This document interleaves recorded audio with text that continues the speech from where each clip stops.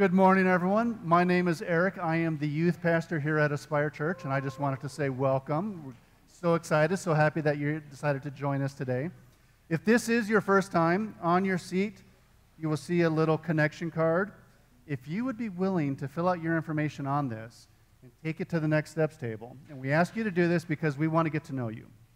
You're here for the first time coming to check us out. You want to find out a little bit more about us. Well, we'd like to find out a little bit more about you as well get to know you. And if you have any prayer requests, please put that on there. And that goes for all of, the, all of you that have been here more than once, too. You're always welcome to put your prayer requests on here, take it to the next steps table.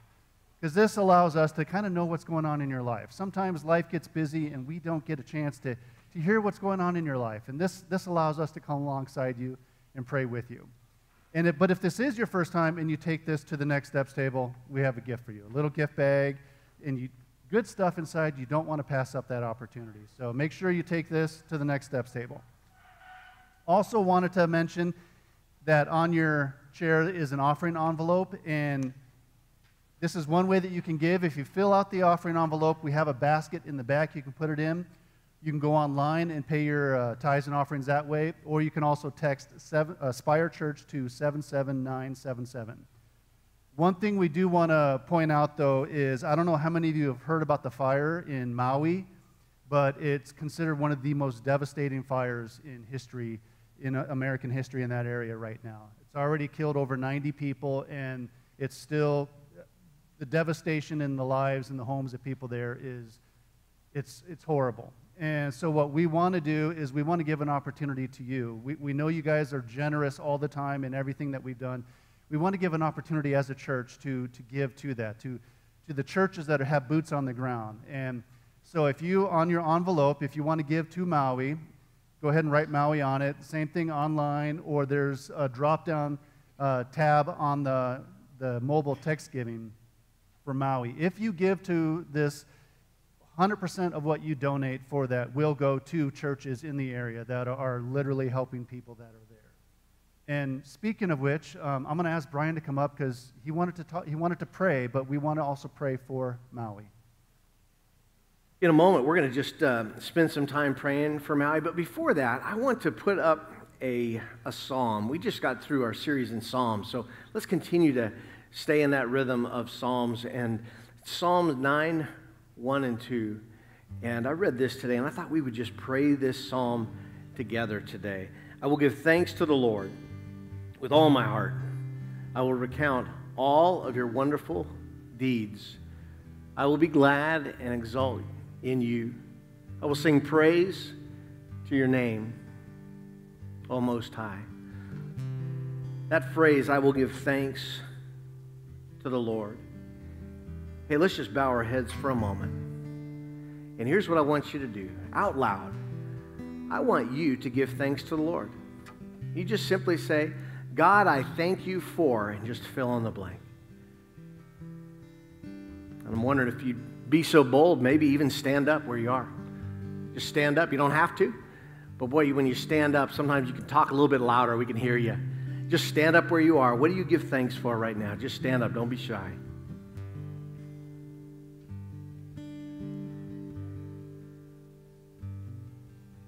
Thank you.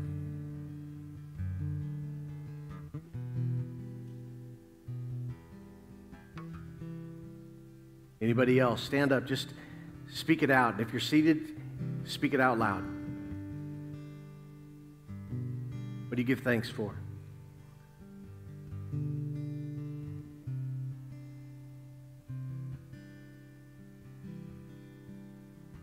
Go ahead, just speak it out loud. Give thanks to the Lord. Anybody here thankful for their family? Anybody? Say it. Give thanks to the Lord. I thank God for my family. Say it out loud. Anybody thankful you have some money? You have a little bit of money. I give thanks to the Lord. Thank you, God, for providing. Say it out. Then it says, I recount all your wonderful deeds. I don't know about you, but maybe God has been working in your life as He is in my life. Maybe He has done something incredible in your life. Maybe God has moved in the life of a child or moved in, in your life as a, in a marriage, or maybe God has moved in your life in something going on in, in your small group at church. However, God has worked. Here's what I'd like you to do just say it out loud to God. Just say, God, thank you for, and just finish the sentence. Go ahead, wherever you are. You can do it at the same time as well. It's okay. Just speak out loud and thank God for what He's done.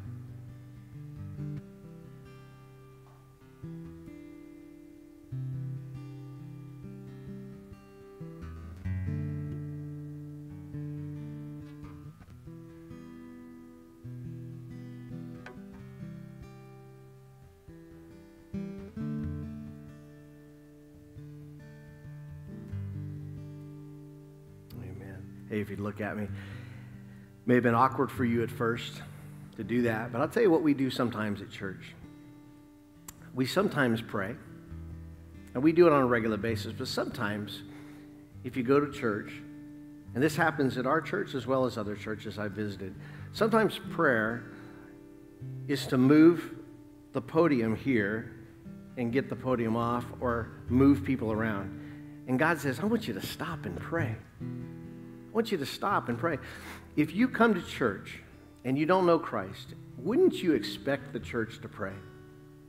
Wouldn't you? Wouldn't you expect the people of God to pray? When something like this happens in Maui, I think it is good for us to pause and to pray for those that are, that are suffering in Maui. And let's just spend some time right now lifting up people of Maui. Would you pray right now? For those that are still fighting the fire. Would you just lift up the firefighters and police and responders? Would you do that right now? Doctors, nurses? Go ahead and pray out loud where you are.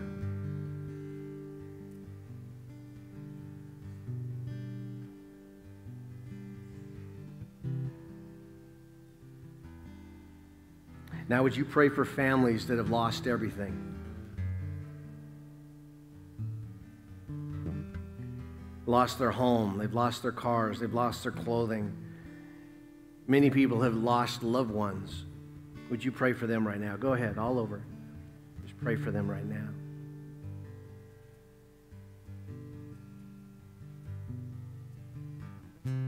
Father, we lift up those in Maui. Lord, we pray for them. We meet with them right now. Holy Spirit, we join with them and we, we lift them up at their point of need, Lord. And we pray that you will meet them at that point of need, Lord. Would you minister to them? Would you help them? Would you give them strength? Would you give them provision? Lord, we pray for the church on the ground. Lord, would you allow them to come around these people? And even in the midst of a bad time, will you turn this around for good and bring glory to yourself as the church meets those needs where they are, Lord? Thank you, God, that we can pray here in Tucson, Arizona and reach out to people in Maui. Reach out to people in Ukraine. Last year, reaching out to people that were uh, flooded in Kentucky and other places, Lord. Holy Spirit, you can move in our prayers, and you do move in the prayers of your people. And Lord, we also thank you that we join together with the church that are on the ground. Lord, we lift them up to you. Thank you that we are part of an amazing army called your church. Thank you for calling us to be a part of, of you, Lord. Lord, as we continue this series, The Life of a Jesus Follower, would you open our hearts to what you want to show us today, Lord? And as we worship you right now, may the focus just be on you. As we leave everything behind that we have brought into this room that can distract us, and may our attention be on you, Lord. We pray this in your Son's name. Amen. Hey, let's worship God.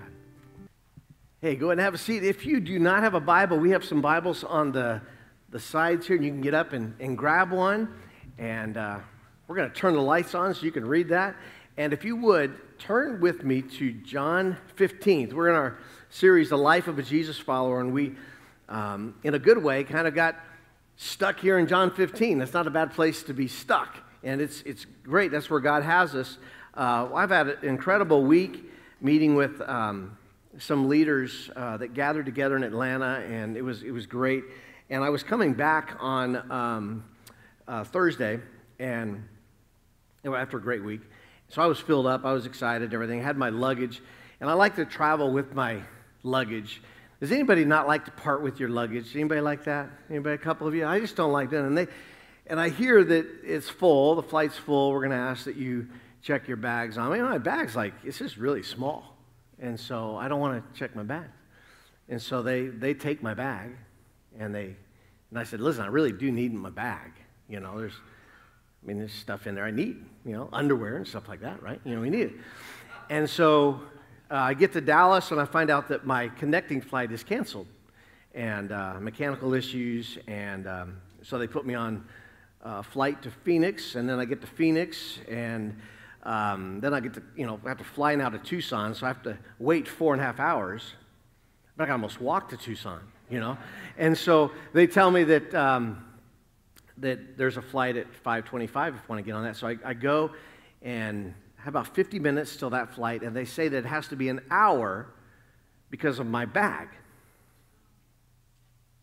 You see, yeah, you feel me, right? Like, that's I want my bag. I can't do it. So they say they have to wait four and a half hours because my bag is on that, that flight. So now I'm checking where my bag is. You ever had that app, you know, where you check where your bag is? I want to know where my bag is. So it's, it's in Dallas somewhere. And so uh, I get to Tucson on that later flight, and guess what's not? My bag. Not there. They said it'll be there tonight, midnight. Oh, I, I, got up in the middle of the night, check out, see if that bag is there. Guess what? Bag's not there. It doesn't show up till late the next day. It's okay. But when I got to the baggage claim, and I'm just confessing to you, right? Me and you, I didn't say the nicest of things. Okay? And so I wanted to tell you that before the sermon so we can now move forward. I feel better now. Good. Let's move forward. But today I want to talk to you about loving one another. Because sometimes we have enough energy and enough love within us to love all the good people at the right time, right? But then when it's the wrong people that really, you know, aggravate you at the wrong time and you're your love tank is low. You ever heard that phrase, love tank? I can't find that scripture here, but I've read that book, and my love tank was low on Thursday night. So some words came out of my mouth. No cuss words, just things that shouldn't be said from a pastor or any Jesus follower for that matter, right? So I just, just, just throwing that out there. And my tank was a little bit low, right? Somewhere between DFW and Phoenix got a little low. And so uh, we've been learning that the life of Christ comes from within us. When we love people, it's an overflow of the life of Christ. Last week, we looked at a passage that was really some lessons from the vineyard from Jesus himself. And Jesus is headed to the cross and he gathers his disciples up and he gives this last bit of information before he goes, and he tells them to abide. He says, Your hope in life is to stay connected to me. You're the branch, he said, I'm the vine. He talks about the vine dresser, the Father, but he, he tells them this one word. He says, Abide. And he says, Apart from me, you can do nothing. Doesn't say something, Nothing. So if you are apart from Him, that life that comes from Him is not only just a little empty, you can't do anything. And so we said that the definition of fruit, which is really the, the proof that we are Jesus followers, the fruit that comes out. See, the branch has fruit that's on the branch, but the branch, I have never known a branch to produce fruit. Branches don't produce fruit. You know what produces fruit? The life of the vine. The branch just stays there and the fruit comes out. So that's the life of the vine. So our goal, our job is to abide. And the definition of fruit we said last week was the life of Jesus in me being lived through me. That make sense? Okay, so that's a a lot of background. I wanted to give some background to you because we spent about 40 minutes talking about that. And some of you weren't here last week, and I just wanted to give you kind of a, a, a rehash of that. And we come to John 15, 8 and 10, 8 through 10, and we looked at this last week. What does this fruit look like? Because if that's the proof of what I am, what, who I am in Christ, what's the proof of that? What does it look like? What is this fruit about? And we said there were really two last week, and we're going to look at one this week. And we find it in John 15, 8 through 10. It says, By this my Father is glorified, that you bear much fruit. How much fruit? Much fruit. It says a lot of fruit. And so prove to be my disciple. So the, the fruit proves that I'm a disciple. As the Father has loved me, so have I loved you. Abide in my love. If you keep my commandments, you will abide in my love, just as I have kept my Father's commandments and abide in his love. So last week, we said the first practical aspect of a fruitful life is this a fruitful life is a close and personal life. A fruitful life is a close and personal life to who? To Jesus. It's more than a quiet time, but it includes a quiet time. It includes time with Jesus. It includes hearing his voice and doing what he tells us to do. So, a fruitful life is a close and, and personal life. Also, Jesus tells us in John 14, he says, If you love me, if you have this relationship, you will obey me. So if you love me, you're going to obey me. So a fruitful life is a life of obedience. So when you look at your life, do people say, that is somebody that spends time with Jesus? And that is somebody that obeys. Jesus. Now, there's a little segment of that Thursday night where I think if somebody was observing me for the first time, they wouldn't get that. You ever have that? You're on the street, somebody cuts you off, and five o'clock on going down Speedway. Why they called it Speedway, I'll never know. But you, you, sometimes that life of Christ doesn't come out. I'm not saying that you don't have times of sin and disobedience. That's not what I'm saying. But your lifestyle, when people look at you, they say, yeah, they're not perfect, but I see them spending a lot of time with Jesus. And their life is obedient. There's a third thing I want to talk to you today, and Jesus does it. He just goes right into it in John 15 12. Actually, let's look at John 15 10 first. A fruitful life is a life of obedience, but a fruitful life also is a life of loving one another. John 15, 10 says, If you keep my commandments, you will abide in my love, just as I have kept my Father's commandments and abide in his love. And then Jesus literally gives them another command. He says this This is my commandment, that you love one another as I have loved you. I'm just going to stop right there because I want I want you to just put a little asterisk there. If you write in your Bible, it's, you can write this. If not, don't worry about it. Just make it in a note. This is before he goes to the cross. So if I was to ask you, how did he love them? Many of us would say, well, he, he died for them. That's true, but he's not to the cross yet. So he has shown them what love is all about up until this point. And he says, This is what I want you to do. I want you to love one another as I have loved you. Greater love hath no one than this, that someone lay down his life for his friends. You are my friends if you do what I command you.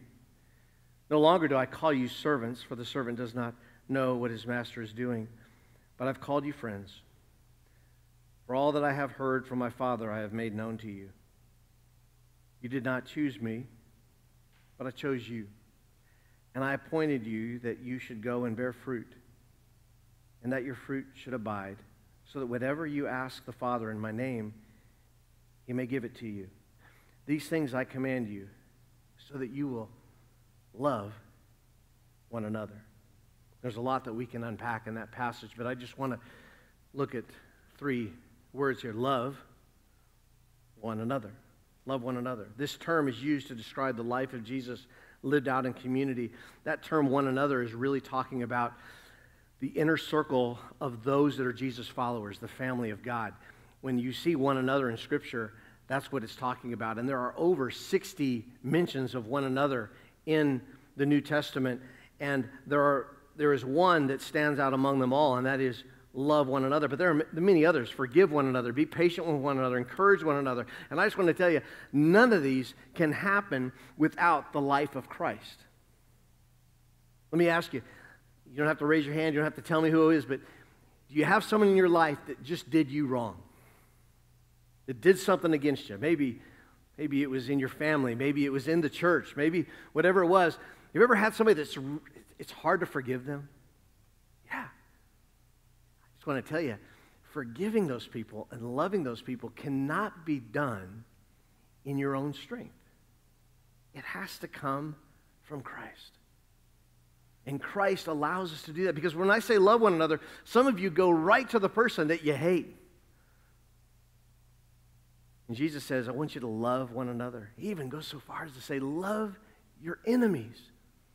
You know, we're the only religion, we're not a religion, but we're the only grouping that does that. You know, if you go to a synagogue today, they're not going to talk about loving your enemies. If you go to a mosque today, they're not going to say, hey, guys, we're going to talk today about how we love our enemies.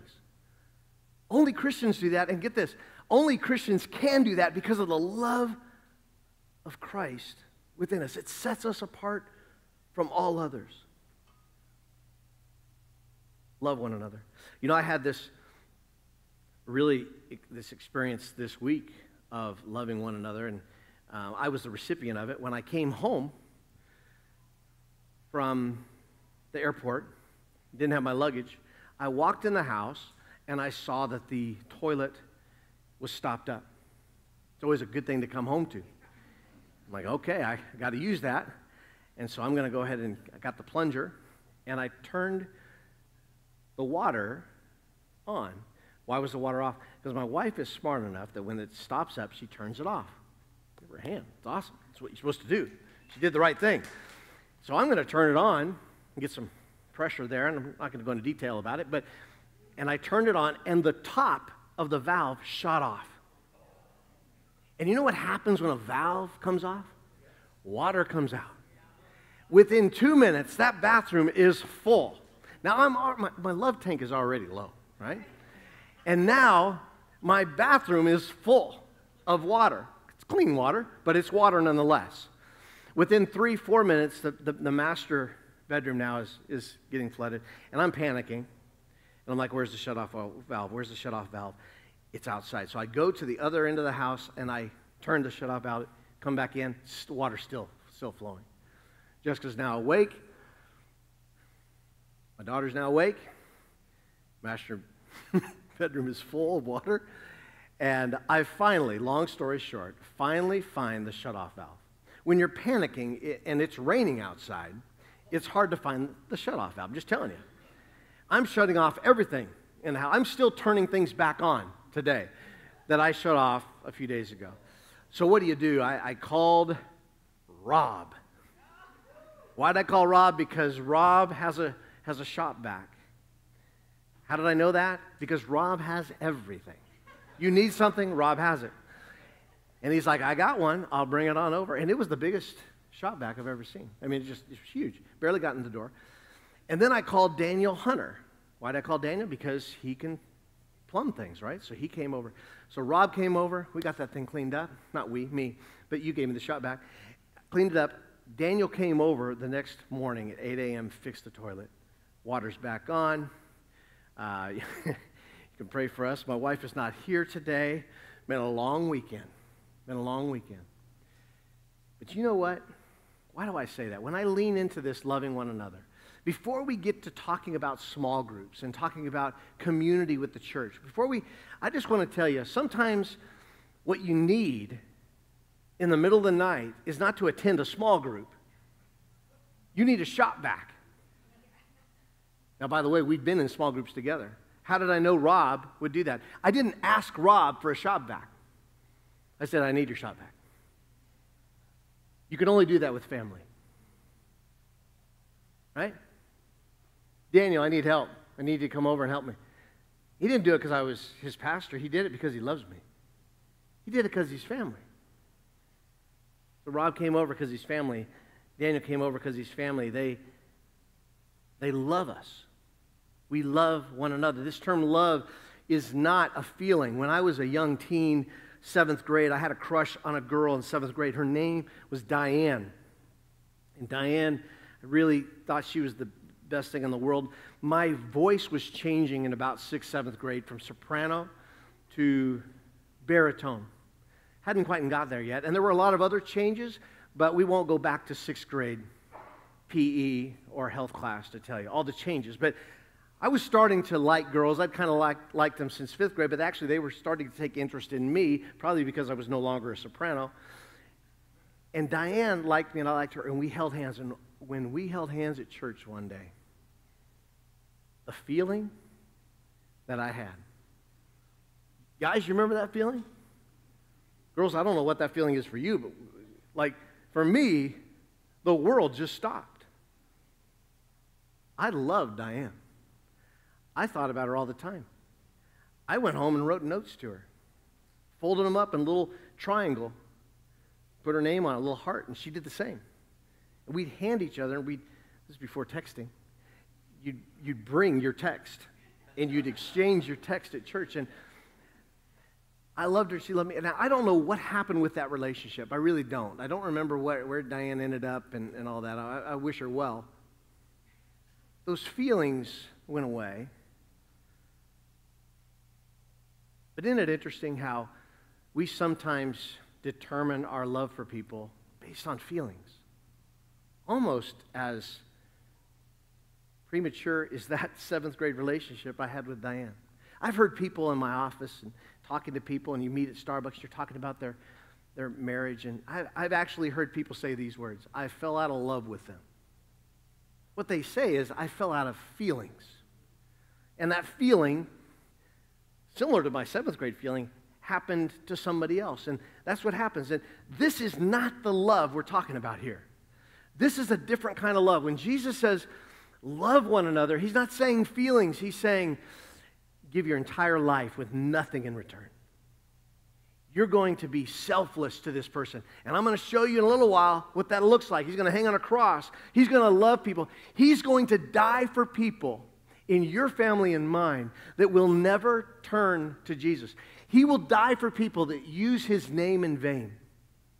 He will die for people that give him nothing in return. He says, I want you to love one another as I've loved you. Now, there was a whole assortment of things they could choose from to show the love the hanging out, the laughing together, the, the him taking a basin and washing their feet, so many things. But then the cross solidifies it for them. Love one another. This agape love. Love one another is, is an overflow of the life of Jesus. But also, loving one another is the result of a new identity. Jesus says, You're no longer, I'm going to call you servants, for the servant does not know what the master is doing, but I have called you friends. This is right after he actually washes their feet. I've called you friends, for all that I have heard from my Father, I have made known to you. Jesus calls his disciples to love one another. He calls them to a new identity. No longer a servant, but a friend. No longer Jews and Gentiles, but one in Christ. No longer slaves and free, but one in Christ. They were once orphans, but now they are sons and daughters. Just to kind of give you an overview of these metaphors he uses to describe us. He calls us the family of God in Ephesians 3. He calls us the body of Christ in 1 Corinthians. He calls us the temple of the Holy Spirit in 1 Corinthians 6:19. He calls us living stones in 1 Peter 2 4. He goes on in that same passage to talk about the house of God, the house that he's building with us. All these identities, and here's the thing that they all have in common. None of these, none of these represent an individual life of following Jesus. It all is together. I've heard people, and it sounds very spiritual. I, I love God, and I have a great relationship with God, but I don't have a relationship with the church. I'm not much for the church. There's nothing more unspiritual than that, that phrase. But I hear it all the time. It makes people feel like big, like I'm, I'm good with God, but I don't really like the church. Well, That'd be like coming up to me and saying, I really like you, Brian, but I don't really like your wife. That, that's, what, that's what it sounds like to Jesus. This is a package deal. You get Jesus, you get the church, you get the family. I'm with you though, man. I'd rather have Jesus than the weird uncle. But you get the weird uncle, too. You say, I know those weird uncles. Listen, we're all kind of weird in here. We all kind of are imperfect. And Jesus is shaping us and molding us and working on us. And he says that he actually allows all of us to get in on that to help one another to chip away that which is us so that the only thing that remains is Jesus. He uses us for that. And so we come together and we love one another and we love one another and it's going to take time. Hebrews 10 24 says, and I want, for those of you that don't want to be with the weird uncles and weird aunts and all that, this is what it says. Let us consider how we must spur one another on toward love and good deeds, not giving up meeting together as some are in the habit of doing. I've had some small groups I'm going to talk about in a moment that have changed my life. I've also had some small groups with people in the church where I lead that small group and I say, I'm never going back there again, only to go back there the next week. Because I come before God and I realize I got to love.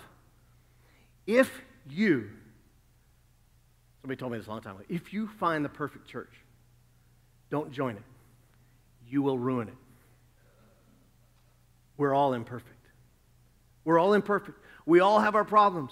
We all have things in our life that, that challenge us, and we all have different types of segments of our life where we say, I want, I want to go to a church that's like this. I want to go to a church that's like this. I want to, typically, we want to go to a church that's a lot like us.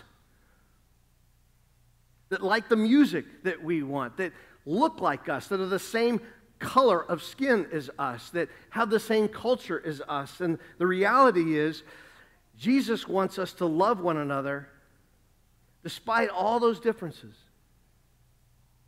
He's giving us a new identity. He's the family. Let's just look at the family of God.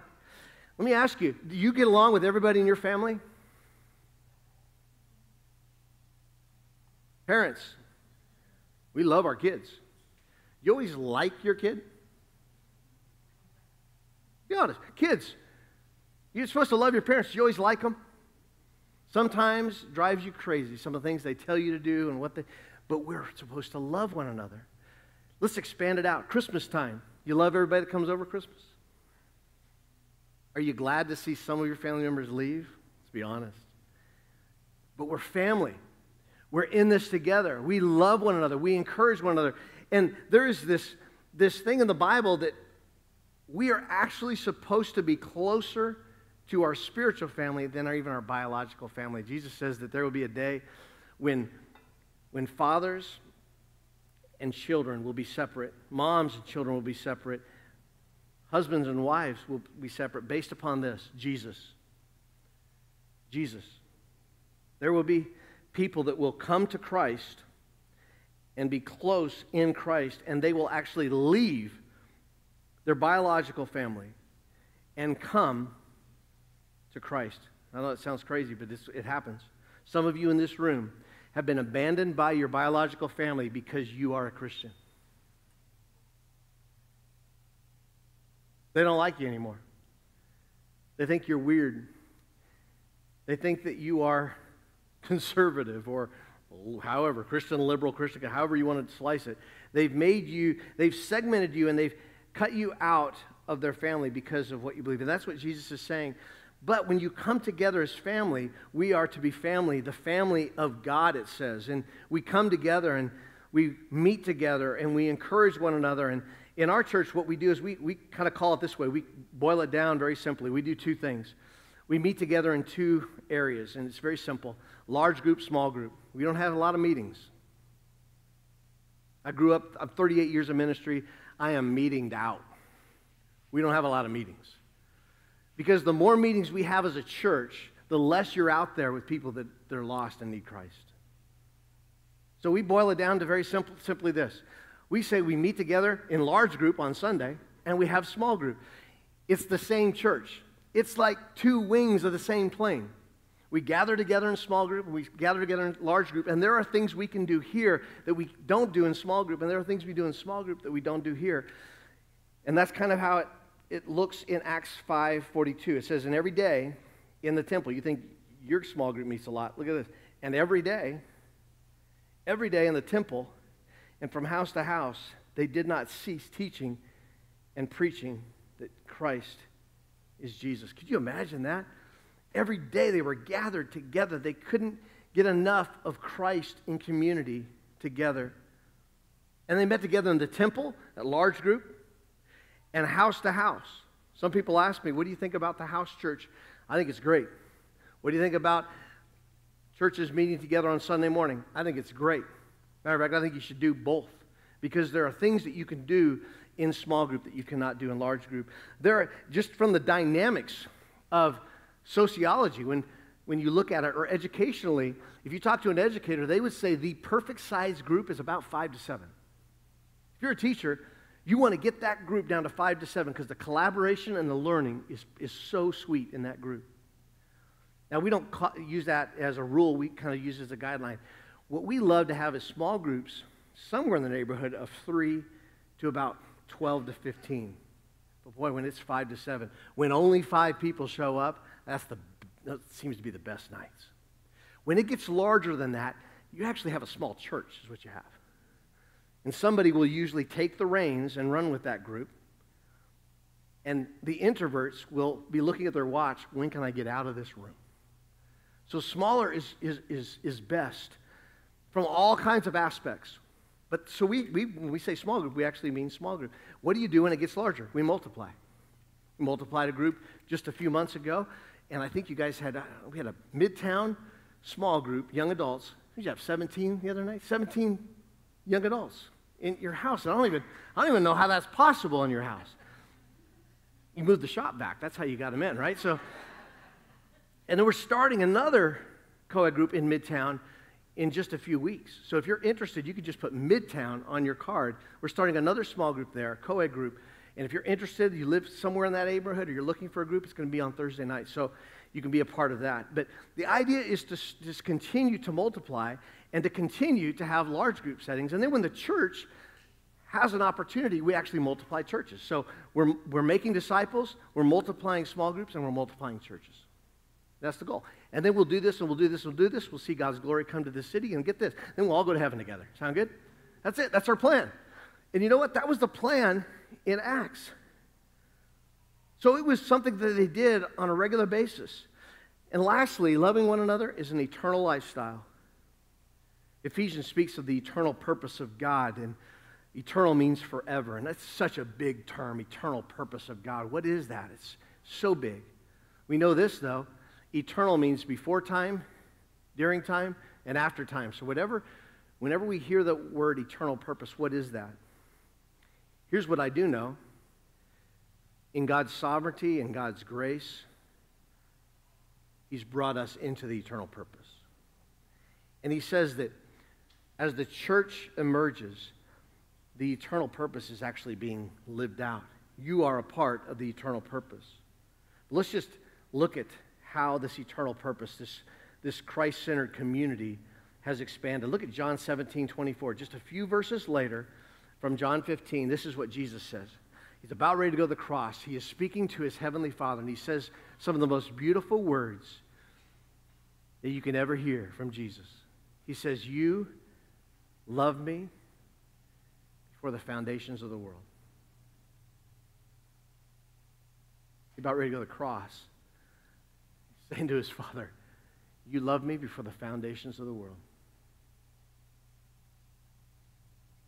How does Jesus do this? Fully God, but also fully man. He was loved by his Father.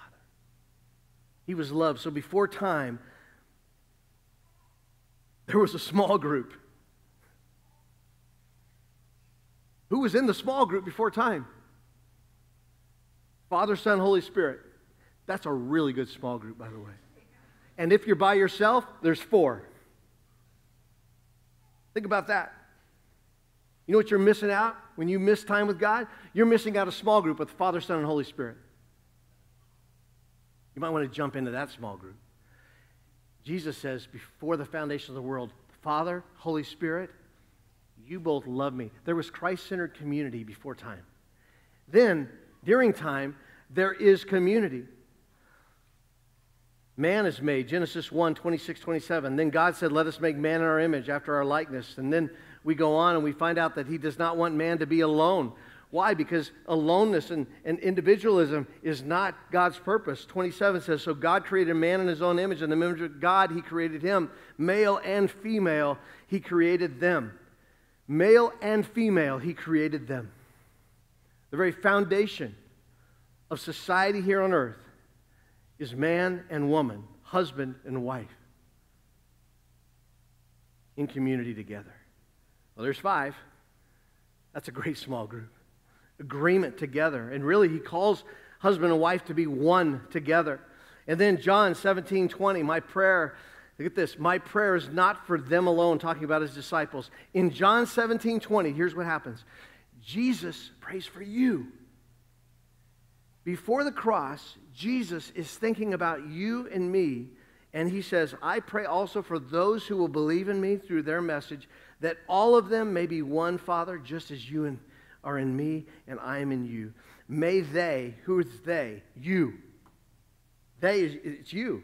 May they also be in us so that the world may believe that you sent me. Wow. Jesus had you and me on his mind right there. The cross is a symbol of sin and payment for our sin, but it's also a symbol of reconciliation. He wants us to be one together. He didn't say just one um, that is this color or this culture, this tribe, from this nation. No, no, no. Oneness means oneness, and we see that in Revelation 7, 9, and 10. Let's look forward to this. This is incredible. And then I looked, and behold, a great multitude that no one could number from every nation, from all tribes and peoples and languages, standing before the throne and before the Lamb, clothed in white robes with palm branches in their hands, and crying out with a loud voice Salvation belongs to our God who sits on the throne and the Lamb. You see, this is all moving somewhere. And here's the thing I kind of want to get in on that now. I don't want to wait till the end. I look at this room. There's different nationalities here. There's different skin colors in this room. A few years ago, I went to Ghana. And a few weeks ago, I get to meet my sister from Ghana, right? We're worshiping here. I've been to Ghana. Those worship services are a lot longer there, by the way. About an hour in, they're starting to preach. But we're worshiping together. Why wait till the very end? Why not do it now? Sometimes, you know, God calls us to go to the ends of the earth, and it's not just to take His message there, which is by far one of the reasons. I think sometimes He wants us to go there so that we can experience His glory and to be together. I want to get in on it now Christ centered community is not just for white people or black people or Hispanic people. He wants us all to be together. A church should look more like their community. Do you know that, you know that schools look 20 times more like their community than churches? Schools are ahead of this. The church should be the cutting edge of being together in Christ centered community. He's bringing us all together. I, I end with this. Uh, in, in, 1993, my daughter, Phoenix, was born premature. Uh, she almost died. She was in a, a little neonatal unit. I remember 25 days after her birth, the doctor told me on a Sunday morning that she was going to make it. We are having church that morning. It was uh, Christmas, and we're worshiping God, and uh, we just sang that song, Give Thanks. And I just wept as I led worship because my daughter was saved. My daughter was going to make it. Fast forward to 2010. I'm on a mission trip in Jakarta, Indonesia. Some young people take me to a young adult small group. And it was in a 90% radical Muslim area. Security guard was there. He had come to know Christ a few months earlier. He was watching the door to make sure we were going to be okay. Numerous people, numerous groups had been killed over the last few years meeting together in that area. So, man, I'm, I'm like, wow, is, this is going to this is going to be an unusual small group. I'm watching that door. As I get in, they're worshiping God in their own language. And about 10 minutes in, the facilitator is leading, and a couple walks over. She's, she's expecting, and she's bawling, and they go to the corner of the room. And as we're singing and worshiping, the facilitator begins to say, Do you have a word for this person or this person? It was very, it wasn't weird or anything like that. It was just edifying one another. And he looks at me and he says, Pastor Brian, do you have a word for my sister over here? And I did. As we were worshiping, I sensed that she was experiencing the same thing, and her baby was experiencing the same thing, and my daughter was experiencing years later or earlier. And I said these words I heard from God You are going to be okay. You're going to be okay. They both smiled and acknowledged the fact that I was encouraging them, and we continued on worshiping. The group did not know this, only God knew this, and I knew this. They began to sing, Give Thanks,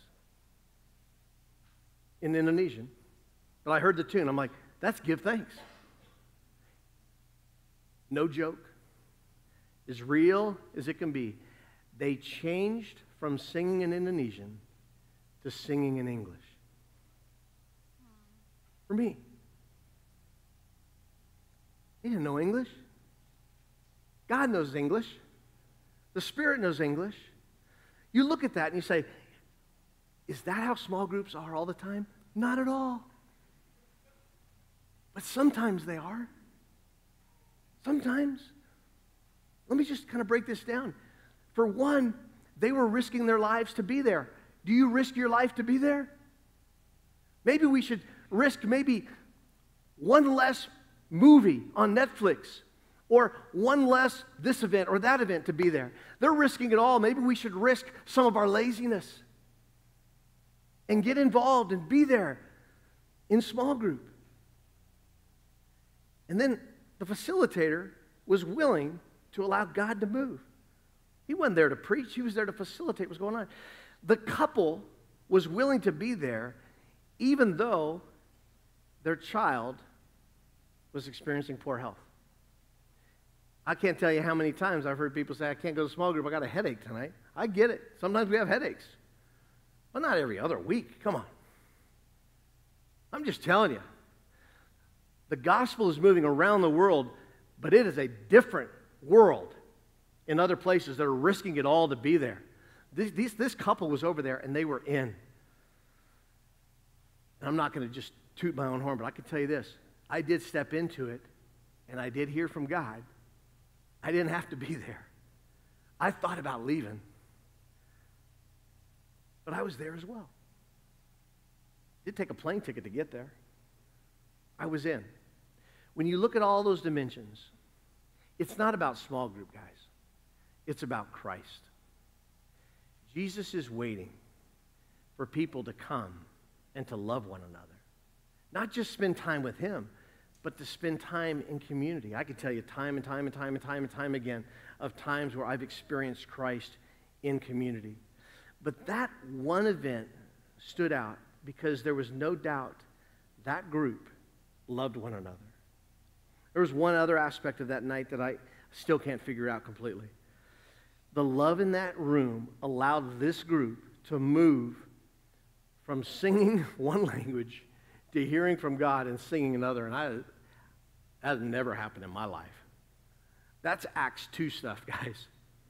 You ever read Acts 2 and you're like, that doesn't happen now? It does. But we got to be all in. Not everybody here is interested in experiencing that. My prayer is that you will someday be all in. But wouldn't it be something is if we put up our sails and we meet in community and we love one another and God decides in his sovereignty and in his might and in his power to move once again? Would you be in for that? Would you be in for what, what God could do through us? Where people would say, wow, God was in the midst of them. I am. Here's, here's the question for you. Number one, where in your life do you experience Christ centered community? Maybe not like what I experienced in Indonesia. Obviously, that's, that's, a, that's a crazy story that I've never experienced before. But I have experienced Christ in community numerous times. Do you have a community where you say Christ is the center of that community? Christ is the center of that community. If you don't, we'd love to help you get involved in one. We have a next steps table. We can help you do that. Here's another thing Is there somebody in your life that needs the love of Christ? And they are on your heart right now. You, it could be a visit. It could be they're sick. It could be a neighbor that you haven't seen for a few weeks. And you just need to go over and just love on them. Is there anybody in this church where you say, you know what? God has told me to visit with that person. God has told me to go out and have coffee with that person. I need to do that. Is there somebody like that in your life? This is more than a small group message. This is loving one another. There's one more group here. And you're hearing this and you're going, I don't even think I know Jesus. I'd love to be introduced to Jesus. I would love to talk to you. And I'm going to be at the next steps table right after we're done here. And I'm going to go there and I'll meet with you. And there'll be other people there. We would love to pray with you if you want to know Jesus Christ. Let me pray with you right now. Dear Father, we thank you for this time we've had to talk about your love. Lord, there's all kinds of different aspects we've, we've talked about. But Lord, I pray that you will put it on the heart of somebody here today. If they need to be in a community where you are the center, Lord, that they would step out and take a step of faith and hang out at somebody's house, as crazy as that sounds in our culture. A complete stranger. But Lord, we pray that happens. And others, maybe in this room, that, that maybe you put on their heart just to go to lunch with somebody, just to spend time with them and to love on them. Lord, I pray for those that are here today that do not know you, that they would take that step of faith and begin a relationship with you, Jesus. We pray this in your Son's name.